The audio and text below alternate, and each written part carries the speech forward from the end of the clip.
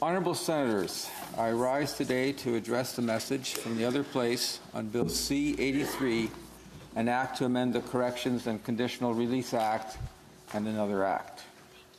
My contribution to this debate is not to urge you to vote in a specific manner, but rather to share my deliberations about this bill with you as you weigh your options. These are issues that I have struggled with in trying to determine how I would address this message.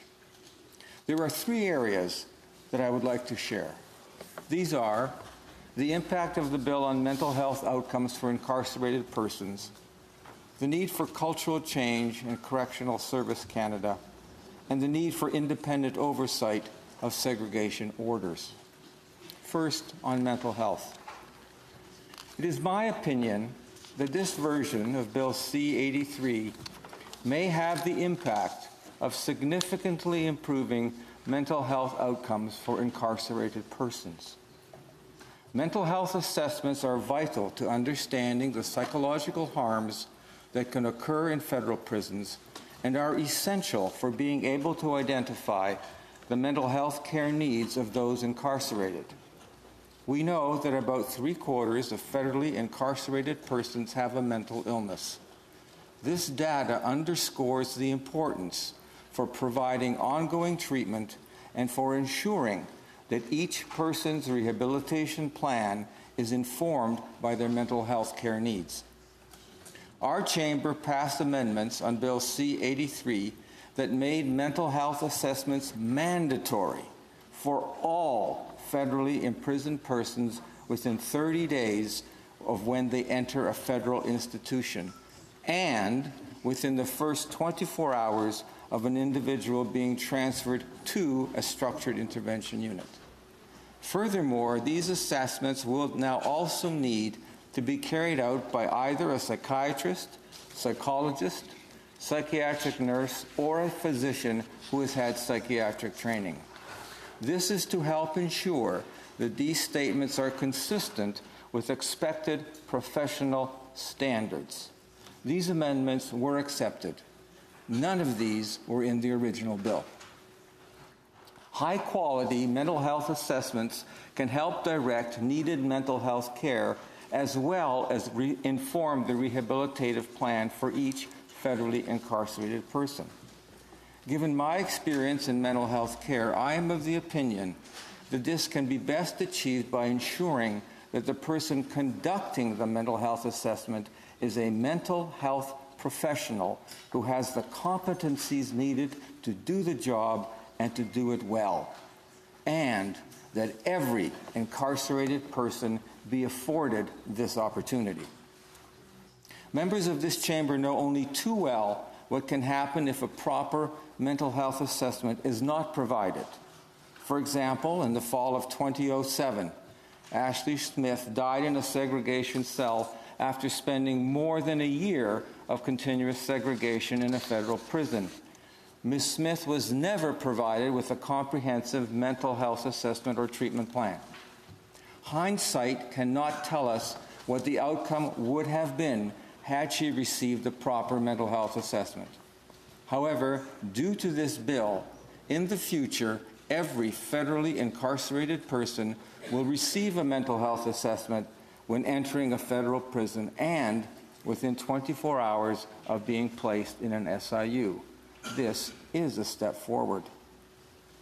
I do believe that one of our roles as senators is to protect, protect the human rights of all individuals in Canada. Being put in a federal prison is harsh punishment.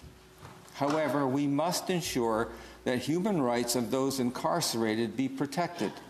We also must ensure that those who have a mental illness and are incarcerated do not suffer the indignity of having their rights to mental health care taken away because they have been incarcerated.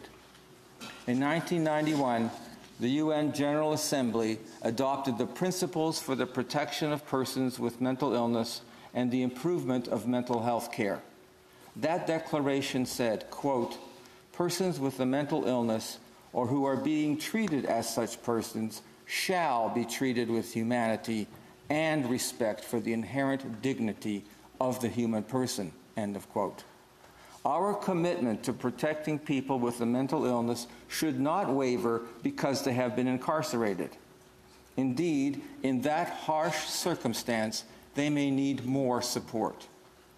Colleagues, we must continue to protect the most vulnerable members of our society by improving mental health interventions for federally incarcerated persons. Secondly, cultural change. A common theme that we heard from many witnesses during our study of this bill was the need for cultural change in the Correctional Service of Canada. The importance of this cannot be overstated. And I want to personally thank our colleague, Senator Kim Pate, for her indefatigable work at trying to make that happen. I've had experience in my professional life as a physician working to create cultural change in hospitals, universities, and health systems in Canada and globally. This is not easy work. It takes immense effort, and is unfortunately, it takes a long time. It is very difficult to make the necessary changes and to make them in a meaningful and sustainable way. Yet is work that must be done, and in some situations, legislation can be part of that work. It is my opinion that this bill can be an impetus to cultural change, but it cannot be a standalone, nor can it be in the vanguard of the change. It can direct change, but it cannot be the change agent. It will require close monitoring to ensure that what has been determined to happen actually does happen. In this respect, our chamber has already moved ahead. For example, the report on human rights of incarcerated persons will make a valuable contribution.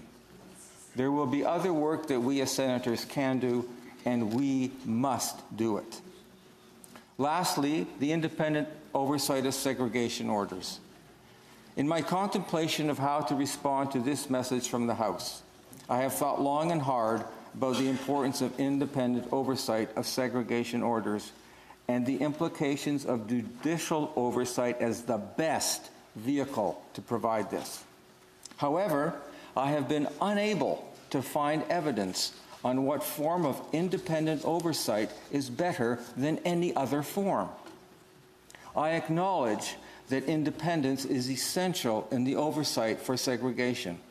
This has been recognized in recent court decisions and Rule 45 of the Mandela Rule states, quote, solitary confinement shall be used only in exceptional cases as a last resort for as short a time as possible and subject to independent review, end of quote.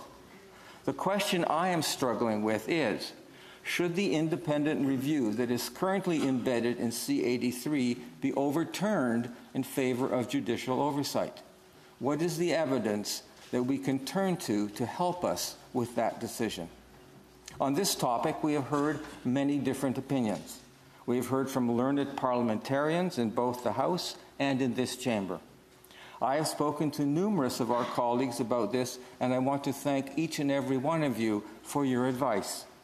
I have also spoken to legal experts outside of Parliament.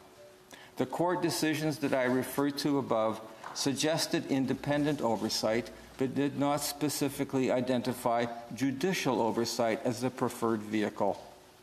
And I must say that after all of this, I still do not have a clear answer. Thus, I am tempted to declare a state of equipoise regarding these two positions. I certainly share the opinion that has been put forward by all of those who have engaged with me on this issue that this bill is not going to solve all the challenges of segregation. That is a more complex issue that will require ongoing work.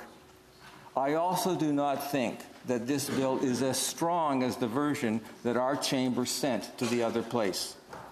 And I am disappointed that all the amendments that we made were not accepted. However, particularly with regard to the mental health components, I think it is a better bill now than when it first arrived here, in spite of the many reservations that I and others have about it. Honorable Senators, I personally have not had sober second thought on this bill. I have had sober 20 second thought. It has been vexatious, to say the least. I appreciate the passion, dedication, and detailed considerations of these important and complex topics that I have heard from all of you. I thank you tonight for listening to my thoughts, and I hope that as you decide on how you will vote on this message, that you will consider my deliberations as well. Thank you.